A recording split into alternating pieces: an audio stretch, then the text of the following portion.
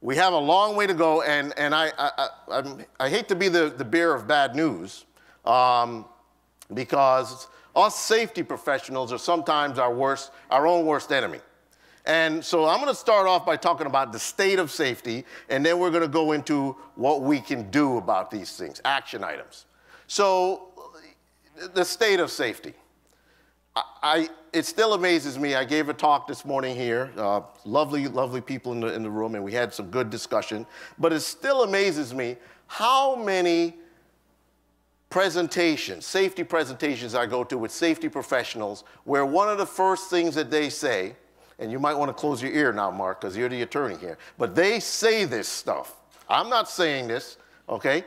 But they start off the presentation by saying, look, you know, uh, I'm, Milton Jacobs. I'm here to make sure that uh, you go home uh, the same way you came in here and with all your fingers and toes. And, you know, but we do understand that shit happens. Excuse me. Okay? Now, let me just stop you there. We are in the business of promoting health and safety. We're not just supposed to be telling people that accidents are just going to happen. What would happen if before you went on to the next airplane at Bradley Airport or Boston Logan, you, you know, before you went into the next airplane, the pilot met you at the door and said, hey, you know, shit happens.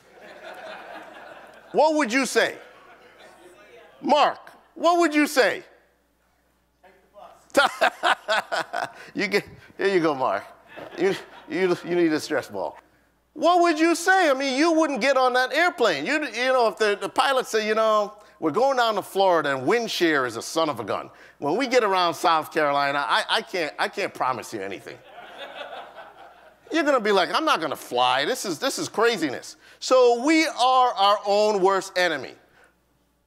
I'm not suggesting that every single little thing um, you know, we go around and we try to prevent every single little thing. We deal in risk, and I know all of that stuff. We're all professionals here. But we have to set the bar high. Blank just doesn't happen. Airplanes don't just come out of the sky. Something brings them down. People don't just go to work and die.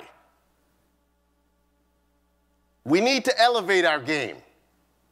So let's get rid of that.